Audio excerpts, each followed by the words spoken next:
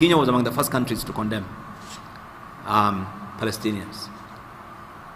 The government of Kenya has continued to bury its head in the sand with regards to Palestine up to now. When Palestinians in Gaza prison broke the fence of the prison and entered Israel and killed Israelis, Kenya was among the first countries to condemn um, Palestinians. But when tens of thousands of Palestinians, innocent Palestinians, who are demanding for the freedom, they are not asking for anything else, it's determination of freedom as provided for by United Nations from 1948 up to now, in hundreds of resolutions, the government of Kenya has been mute.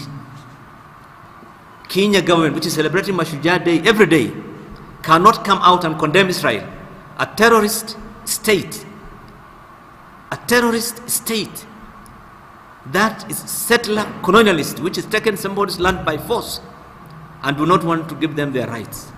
Kenya government does not want to talk about it. We had also called for us Muslims, globally by the way, and also in this country, to boycott every product that belongs to Israeli companies. That call will also, I think, be amplified by uh, my colleagues. Thank you very much. I'll